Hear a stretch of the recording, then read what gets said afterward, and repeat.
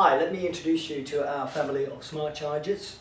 Now, why do we think they're smart? Because you have as little as 10 players and you've got one single rack.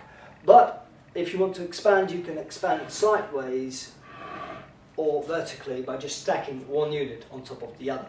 And that basically allows you to make any configuration in a matter of minutes with your amount of players and they're all connected at the same time and they can also upload their data on the back all at the same time allowing for the most flexible configuration out there.